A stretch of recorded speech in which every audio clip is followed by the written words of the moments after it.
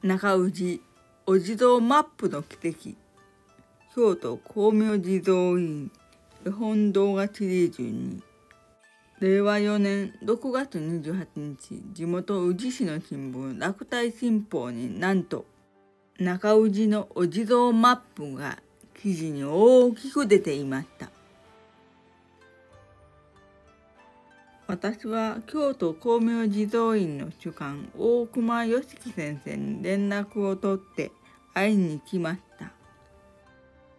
こちらが京都光明地蔵院。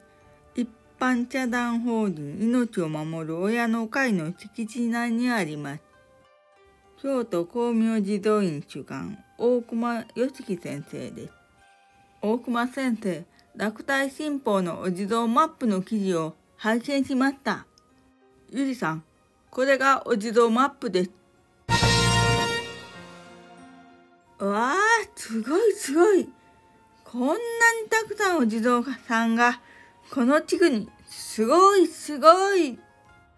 このお地蔵マップ、ゆりさんのため息でできたんですよ。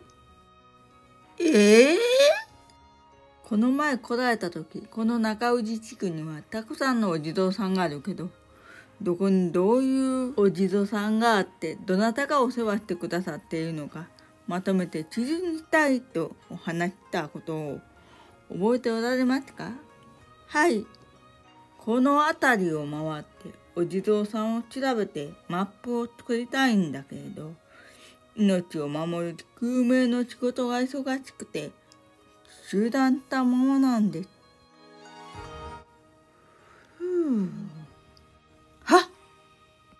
お地蔵様がため息。なんとかしないと。え？私のため息がお地蔵さんに見えたって？そうなんです。それで、このことを有田さんに話したら、有田さんが、大熊先生、私も一緒に回りますと言ってくださって、本当かい？助かるよ。大熊先生は有田さんと何度も中氏のお地蔵さんを回りマップを作成しました。暑い中をご苦労様です。お地蔵さんのお世話をされているのは地域のお年を召された方が多いです。あるお地蔵さんはそばのお家のおばあさんがいつも月に2回お花と水を変えて世話をしてくださっていました。しかしおばあさんは足腰の具合が悪くなり立ってお地蔵さんのところまで行ってお世話をすることができなくなりました。他に施設に入られてしまったり入院されたりしてお地蔵さんのお世話ができないケースもありました。こうして世話したくてもできない事情があるということも分かってきました。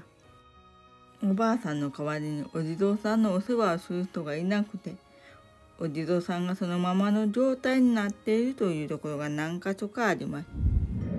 うちのお地蔵さんは歴史の古いものが多く800年中には1,000年も前の平安時代から伝わるものもあります。え？うちのお地蔵さんそんな古いんですか？そうとったら大事にしなくっちゃ。この間お話を聞いてからうちの町内では自動本しないまま終わりにするところだったんだけれど今年はすることにしまった。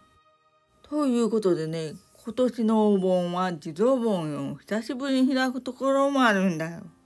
おおすごいすごいコロナも3年目みんなの心に地蔵盆を継続できないなという諦めの心が出ていましたね。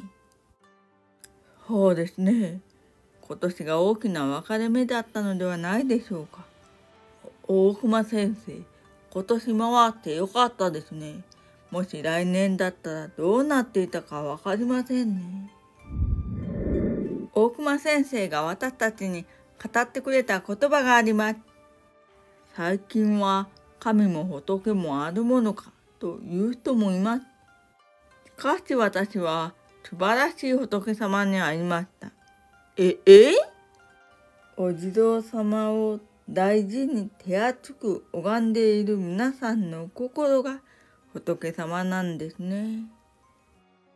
拝む心が生き仏であると私は思います。数百年、千年もの昔から人々に祈られ続けてきた大切にされてきたお地蔵さん。お地蔵さんありがとう。お地蔵さんのことを知りたい方はこちらの動画をご覧ください。大熊先生今回お地蔵巡りをした感想を歌に読んでいただけますか？のぼとけの言われ伝いは知らねども拝む人皆仏なりのぼとけの言われ伝いは知らねども拝む人皆仏なりお地蔵様を拝む人の心はすでに仏心である。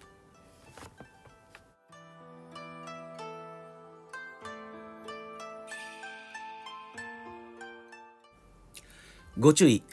十字像拝観堂は午前8時から午後8時まで本町通りの外側から自由に拝観できます。京都光明地蔵院光明会館は救命センターを併設しているため完全予約となっておりますのでご了承ください。お願いいたします。